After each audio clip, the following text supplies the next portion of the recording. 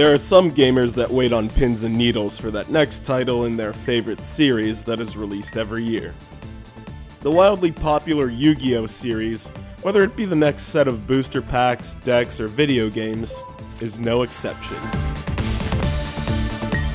The entire Yu-Gi-Oh! franchise has gone through a transformation through the anime and card game, and it is only fair that the World Championship series for Nintendo DS follows suit as well. Much like perennial hits like Madden or NHL from EA Sports, Yu-Gi-Oh! creators Konami have kept pace with the market and have found their bearings, confident that their fan base will enjoy their product. Whether it's because their fans are entirely ensconced in card-slinging action is another story, but when Yu-Gi-Oh! 5D's World Championship 2011 Over the Nexus was released, I simply had to have it, curious to see what has changed from the 2010 and 2007 editions I previously played. And the answer? Well, unfortunately not much, but that does not take away the fact that the World Championship Series is an excellent way to both have fun with the game and to brush up your skills when you're playing heads up in real life. Who should play this game? I'd say it's for both beginners and hardened vets alike.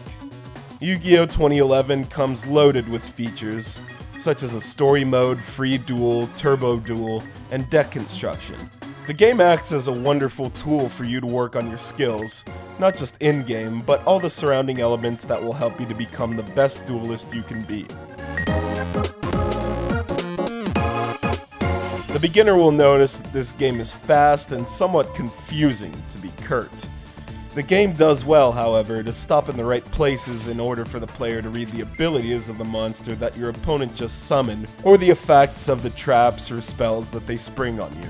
This is only scratching the surface of what this game has in store for the unsuspecting beginner, however, and at times I'm left to wonder how do the developers continue to make game after game when there are now thousands upon thousands of possible card combinations now complete with fusion and synchro monsters that have tremendous power. The result can be found by simply playing through a free duel. During a regular attack, or more importantly, a chain combination, the computer will have trouble keeping up, and often needs time to think about the next move it must make.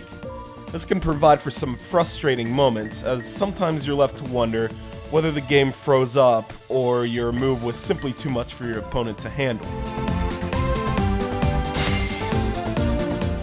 Story mode is tailor-made for the fans of the anime, beginning with the player's humble roots in Crash Town, the Wild West-style shantytown, where you'll build your foundation for success as a rootin' tootin' card slinger. For added effect, a mini-game will appear in place of the usual rock, paper, scissors, in form of Gunslinger's Delight, where you must follow all the button commands before your opponent does. The straightforward style of free duel is what I prefer, you get right down to business against a specific monster featured in Yu-Gi-Oh! Each monster using a specific deck with a creative name. It's the best way to learn the game, especially if you're new to Yu-Gi-Oh! and a hell of a lot better than trying to learn it through Yu-Gi-Oh! spin-offs that I have previously reviewed. An even better way to test your mettle is through duel puzzles, which you must win in one turn, but to be sure, such critical thinking is required in Free Duel, so choose what you think is best to hone your skills. With a straightforward and honest duel layout, deck construction, and various twists and turns along the way, Yu-Gi-Oh! 5D's World Championship 2011 over the Nexus has a replay value that is as long as its name.